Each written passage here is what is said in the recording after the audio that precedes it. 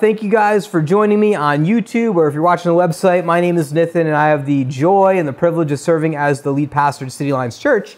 And today we're kicking a real feel good series for July. You know, we are going to be talking about lament. Who's excited about lament? I'm kidding. Listen, I know some of you are thinking, Pastor Nathan, come on, it's summertime. People are at cookouts. It's July 4th weekend. We want to talk about fun and parties and things like that. Why are we talking about lament? Lament is lame, dude. And listen, I get it, right? Because, like most Americans, uh, if you're like me, we hate talking about dark, negative, or difficult things. We, we don't even want to go there. We'd much rather focus on the good things, right? Positive things. We want to always be moving up and to the right, right? To quote one of my favorite movies, the Lego movie, everything is awesome, right? it would be great if things would just stay that way, where everything is good, great all the time. The reality is, um, when we watch the news, we're reminded about war, social unrest, racial unrest, inequality, injustice. It happens all around us, and we could tune those things out with a, a good old pint of Ben and Jerry's and watching Obi Wan on Disney Plus. That way, Obi Wan can save the world and I can stay distracted. But we take that posture, if we do that, there's something we lose in our formation as believers. You know, Psalm 34 18 says, The Lord is close to the brokenhearted and saves those who are crushed in spirit. You see, if we bypass that and just say, hey, I just want to be all about the resurrection, we forget that there's also a crucifixion. Uh, before there can be new life, there has to be death. And sometimes we just want the resurrection, we just want the new life, but we got to go back and bury the body. That's really what lament is about.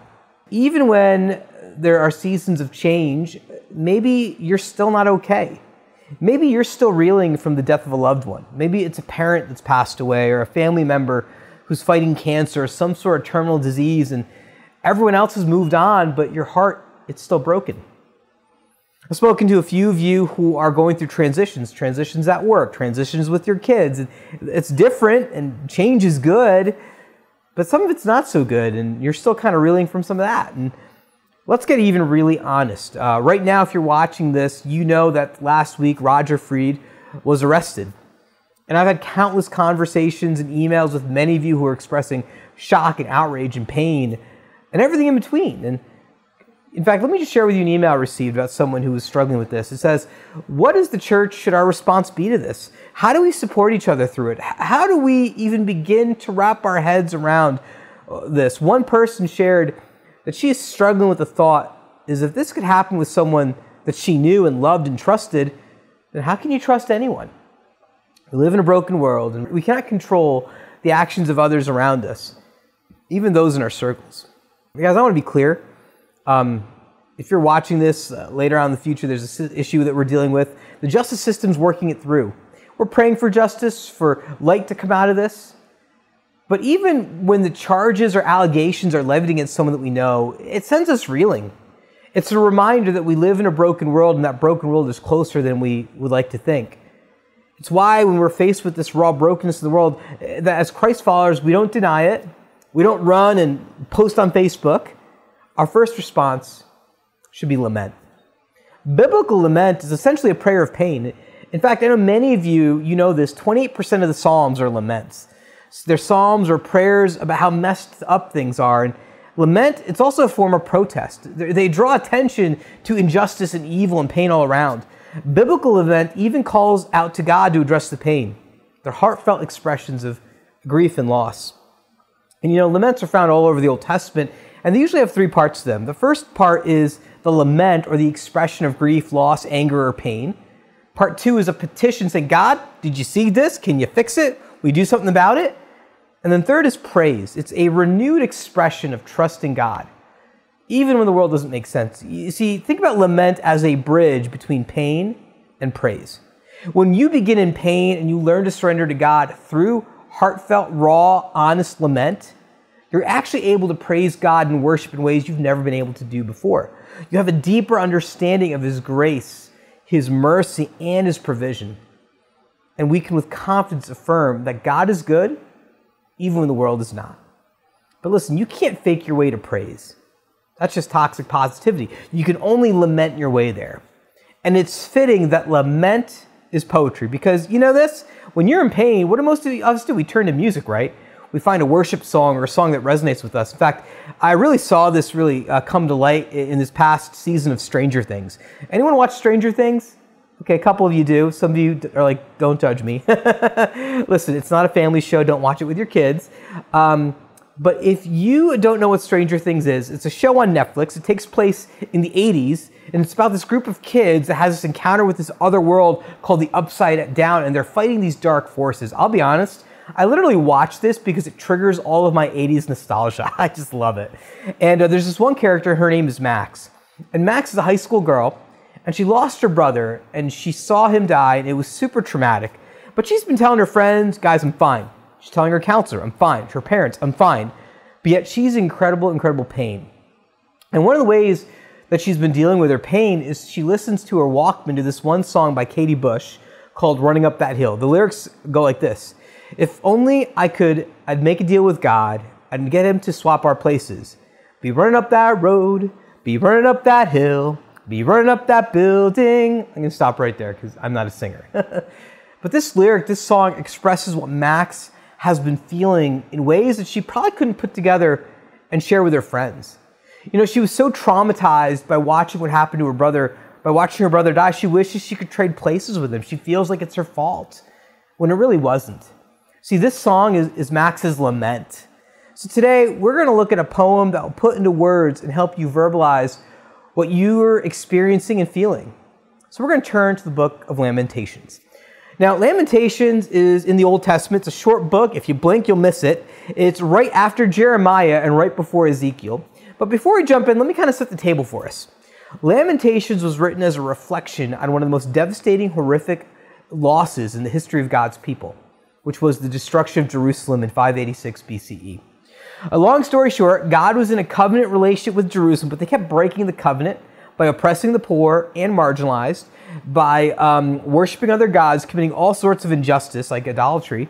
And while God is slow to anger, eventually he's got to judge evil and wickedness. And that's what he does. He allowed Babylon to come and destroy Jerusalem. So this poem is actually processing God's people. They're actually venting what's going on. This is not just a poem, it's actually a work of art. It's what's called an acrostic poem. Every stanza begins with a letter from the Hebrew Bible. This is done to bring structure and order to a moment in the life of God's people that's just confusing and chaotic. So the poet's actually building a bridge of lament in order to praise God in the end. But it's a journey to get there. So we're going to start by looking at chapter 1 by look, looking at certain verses in there. It says this, starts off in verse 1. Jerusalem, once so full of people, is now deserted. She who was once great among the nations now sits alone like a widow. Once the queen of all the earth, she is now a slave. She sobs through the night. Tears stream down her cheeks. Among all her lovers, there is no one left to comfort her. All her friends have betrayed her and become her enemies. So, when this poem starts, the narrator, most likely the prophet Jeremiah, is describing the situation that God's people in Jerusalem are in. What we see is that God's people, Jerusalem, they were once this powerful and prosperous nation. In fact, that little phrase, great among the nations, mean they were actually an economic powerhouse. They were financially doing great. And then all of a sudden, things fall apart. The world that they once knew has collapsed because of this Babylonian invasion. The poem goes on to say Judah has been led away into captivity, oppressed with cruel slavery. She lives among foreign nations and has no place of rest. Her enemies have chased her down and she has nowhere to go. By the way, she is a reference to Jerusalem. So, what does exactly this mean? See, this is actually complete and utter devastation. You see, Babylon has a scorched earth policy when they conquer another nation. They destroy everything buildings, roads, animals, people. And not just killing everyone, they actually want to destroy the culture. So, what they do is they take the best and the brightest into exile, back into Babylon, so they can be assimilated, so they'd be no longer uh, Jews, they'd be Babylonians. And you have to understand that God had promised the people land. The land for the people represents security, identity, family, and future. So when these things are removed, when the people are removed from their homeland, when their temple is destroyed, they feel insecurity. They, they feel like everything is destroyed, gone. Their world is turned upside down, in a sense. So there is bitter, bitter weeping. And while this poem is describing the situation of Jerusalem symbolized by a woman who has been assaulted, she speaks and says, O Lord, look, she mourns, and see how I am despised. Now, I want you to notice something here in this verse. We start with a narrator who's kind of looking at it from a third person objective perspective. Now, all of a sudden, we're seeing the perspective of Jerusalem as a woman. And the reason is she's trying to convey that this is personal. This isn't something that's out there. It's not something that you can be distracted from or sanitized. It's happening right here. She says, Does it mean nothing to you? All you who pass by, look around. See if there's any suffering like mine, which the Lord brought on me when he erupted in fierce anger. So this woman has a voice. And her voice she's using, she's crying out, she's blaming God. She's like, God, how could you do this to me? How could you allow this to happen? And then she's looking around to everyone else. Don't you see what happened? Don't you see my pain? Don't you see what I'm going through? She makes a powerful and a vulnerable admission. In verse 14, she says this He, meaning God, you wove my sins into ropes to hitch me to a yoke of captivity. Meaning this, God, my sins have led to this. She, she's actually acknowledging her sin. See, when you lament, sometimes you can admit that bad things have happened to you. Sometimes you're the reason why that has happened. But sometimes it's because of what's happened around you. But I want to clarify something about when we talk about sin in the Bible and in Lamentations. See, we can sin against God and also sin against one another. And usually, when someone sins against us, the gospel calls us to forgive them the way God has forgiven us, right? But when we talk about forgiveness, there's a concept that often gets forgotten because our English translations don't fully know how to capture all of the nuances in, in, this. And this is why I'm really grateful for the global church, especially Korean translations and Korean theologians. Korean theologian Andrew Park talks about the concept of Han as part of sin. Han is the Korean concept of suffering and sorrow in the aftermath of being sinned against. So this is not just forgiving the person who has sinned against you, but then if you're the victim, how do you find healing from your sin? And I think this is really a missing piece when we talk about sin in the American church. Let's get pro practical here. If you're an educator or a teacher or a pastor, you have a certain uh, sense of social capital or an obligation to the community. Uh, and when you break that trust, when you um, use your, your, your, your situation to hurt other people, it's a betrayal it's a breach of trust, and it's a death. Uh, you know, this past week I called a lot of the parents who have kids in fourth to sixth grade to ask if they've seen anything, and they said, Nathan, this has been hard because I've had to have a conversation with my kid, which in many ways was, a, was the death of their innocence. Because when a trust is broken in a community, you know what we can do? We, we the authorities can fire the person. Uh, they can get involved, arrest them, and put them in jail and all these other things. We can even forgive them, right? When we know that's what the Bible calls us to do, to forgive. But there's another piece of sin that sometimes gets left out, and it's this residue that gets left. It's this thing called Han. Because in the aftermath of sin, there is still devastation there. There's trust that has, hasn't been rebuilt. Our sense of community it hasn't been repaired. And our sense of safety it hasn't been restored. Lament isn't learning to be more emo like My Chemical Romance. It's, it's not learning how to cry better. Lament is our way to express our grief and loss. But when we lament, we're also called to name the very thing that is wrong in the world. We are called to name what is out of order in our society and our culture. We name the things that get in the way of human flourishing. One of the functions of lament is protest. You can't fix what you can't see. But we also need to realize that there's work of healing that needs to take place. And, before we start to jump in and try to fix things and repair what's broken, we actually need to be healed. And that's what lament does. So when we lament, we need to keep two things in mind. The first is this biblical spirituality is always honest about your experiences. You know, I had a friend in college who she was dating this guy, and they had been dating from high school. They actually went from the same high school to the same college. They were dating in that college. They had the same major. They planned to get married when they graduated. It was this whole big thing. And suddenly he broke it off. Ended up uh, hooking up with another girl. It was really devastating to our friend. So that night, we went to go meet up with her to see how she was doing. And She comes to the door, big smile on her face. She goes, "Hey guys, how you doing?" Hey, I thought it'd be great if we would sing some worship songs. I really just love God. You know, I know that this this thing is not a big deal, and God's got got this, and so I just want to worship Him. The truth is, guys, we were all weirded out by that. we were like, "This is not a normal response."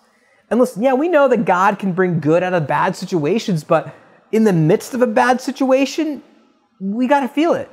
See, my friend did two things that you and I have to avoid. She did this. She was spiritualizing and minimizing. Listen, I believe that everything has a spiritual component for sure. But when we spiritualize our pain and loss, what we're essentially saying is, well, you know, if I'm a Christian, I'm never going to suffer. Everything's going to be okay. Suffering's not going to have any impact on me. But guys, that's just not true. Guys, it's true that yeah, God is going to be with you, but he's also going to be with you when you suffer. He's not going to he's going to allow suffering to come your way. He doesn't want you to ignore your pain or your losses. It's part of being in a broken world. Nor does God want you to minimize your pain. You know, when you minimize your pain or loss, we simply pretend it's not a big deal. Oh yeah, my girlfriend broke up with me, but that's not bad. That's not as bad because you know Jerry lost his dad to cancer. That's much worse. Guys, this this isn't like the pain Olympics. We shouldn't go around comparing whose pain is worse than others. Your pain is your pain. Don't minimize it. Don't spiritualize it. Just own it. Own your pain. Own your hurt. Lament doesn't spiritualize or minimize things. Lament doesn't deny reality, but it embraces it. The second thing I want you to keep in mind is this is that when grief is unexpressed, your body, mind, and soul is distressed. Maybe you've heard this saying, I think there's actually a, a book title that the body keeps score. If you push down and repress your feelings of anger, of depression, of sadness, anxiety, it's going to leak and it's going to poison, come out in other ways and it's going to poison your relationships. Relationships with your spouse, relationship with your kids, your job. It can even damage your health. You know, there's a difference between the American or the Western world and how we grieve the dead or have a funeral and the Middle East. You know, in our country, if someone dies, you know, it's in a funeral home or a church, there's nice, neat rows, everyone takes a seat. Um, people, like, you know, they may dab a tear or two, something like that. Uh, sometimes people even apologize for getting emotional at, at a funeral, which is like bonkers to me. But if you go to a funeral in the Middle East or the Near East, you can see people carrying a coffin all throughout town. People are screaming and they're wailing. Some of them are throwing themselves on the coffin. Uh, and this is an event that lasts for days. They grieve with their full body, they grieve with their minds and their souls. You see, I think as a culture, we don't know how to handle grief or loss or even death. And sometimes we don't even realize we try to sanitize it and ignore it. And sometimes we don't even know what to do with it until something happens publicly. You know, over the past few years, there have been a bunch of celebrities that have died. And, and oddly enough, um, people sometimes get emotional with those deaths. Like I remember, I heard about Dustin Diamond. You guys ever heard of Dustin Diamond? He was he played Screech on Saved by the Bell. Listen, I hadn't thought about him in like years and years and years. But I remember when I heard that he died, I got really emotional. Like, has that ever happened to you? Like when a celebrity, maybe it's Prince, uh, maybe it's like someone recent, and, and, all of a sudden you start getting emotional about it. Like, why is like why does it happen? It's like I haven't heard of this person in years. Well, part of it's nostalgia for sure, but you know what the other part is? I think because we have so much pent up loss and pain and grief, that when something happens publicly, it feels like we have permission to let ourselves feel. So, how do we, from a biblical perspective, lament? How do we build this bridge from pain to praise? I want to share with you three ways. The first is this is you have to normalize pain and loss. Here's what I know right now. Right now you're watching this video and you fall into one of three groups. The first group is you have never really experienced any pain or loss in life. For you, you have the t-shirt, everything is awesome. And I hope that stays that way, but at some point you're going to experience pain and loss. Or you know someone right now who's in the second group. That second group of people is you are going through pain and loss right now. Maybe it's blindsided you, you're experiencing some hurt, some loss and pain, and that's kind of where you're at. Or you're part of the third group. You're actually coming out of the season of pain and loss, and you're going to be able to use that pain and loss to help other people because God doesn't waste our pain. So here's the thing I want to remind you that everyone here that's watching this, you're in one of those three groups. And so I want to prepare you because maybe some of you are like, oh, Pastor Nathan, thanks for that. That's really encouraging for my summer. But here's the thing change is a part of life. Jeremiah reflects this in verse 1 where he says, Jerusalem, once so full of people, is now deserted. She who was once great among the nations now sits alone like a widow. Once the queen of all the earth, she is now a slave. Guys, Jerusalem was once the bee's knees. Not anymore. She's deserted, alone, and a slave. We have examples of this in our society all the time, don't we? Like maybe our lament would be the mall was once so full of people. The Best Buy was great among Lycoming County, now sits alone in ruins. Kodak Film was once the queen of all the earth. The truth is, change is constant. With change comes loss, with loss comes pain. And it could be the loss of your job, the loss of a relationship, the loss of a community trust, the loss of a parent, even the loss of little things like your favorite restaurant closes down or Best Buy goes away. And while we may be tempted to minimize our pain, it's not a big deal, it's not that bad. Don't compare. Just realize that your pain and loss, it's normal on this side of eternity. We will always experience pain and loss. And then when that happens, you can intentionally pause in your pain. See, our culture, we don't know what to do with pain. We've either been taught to tough it out, grind it out, grin and bear it, or just let your pain define you. It makes you hard and cynical. And, and that's why we get so busy, right? If we're busy, we never have to pause slow down, and actually engage with our pain or hurt. But if we do that and hit the pause button, all that regret and pain comes to the surface. You know, I, I got to admit, um, if you know what the Enneagram is, I'm a seven. So that means like I love everything that's happy. I want to avoid pain. I want to avoid difficult situations. I'm all about what's going to be fun. But years ago, I learned that I need to build the emotional muscle to deal with the hard things in life. And I did that through lament. See, when you pause, you actually name your pain. You can actually say, Am I suffering this pain because of sin I've committed? Have I been sinned against? Is this a wound that needs to be healed? Is, is it pausing to grieve? You know, even something as simple as I'm pausing to grieve a Facebook memory that just came up of my, of my kid five years ago and they're singing in a VBS, and man, they've grown so much, and the years have gone so fast. So we pause and just let ourselves be in that moment. This is one of the reasons why I journal on a regular basis. I need to get that pain out on the page. I need to get out those feelings. Or I talk with a trusted friend, or I share in my city group, or guys, a counselor. Guys, seasons of counseling has been a gift in this time to identify my pain. And sometimes what I found with my counselors, like there's layers upon layers of pain. Like there's pain that's built on another layer. This is so important to identify and name our pain. That's why in verse 16 it says, For all these things I weep. Tears flow down my cheeks. No one is here to comfort me. No one who might encourage me are far away. My children have no future, for the enemy has conquered us. See the grief of identifying the enemy, identifying no comfort. My children have no future. And at this point, Jeremiah is not suggesting solutions. He's not saying, here's how you fix it. He's pausing in the pain, he's naming it, he's protesting it. And finally, we come to the third insight, which is this you need to, you need to post your pain on Facebook. no, I'm just kidding. That's not what it says. You need to pray your pain to God. See, in the poem, the woman who personifies Jerusalem says, Lord, see my anguish? My heart is broken and my soul despairs, for I have rebelled against you. In the streets, the sword kills, and at home, there's only death. Others heard my groans, but no one turned to comfort me.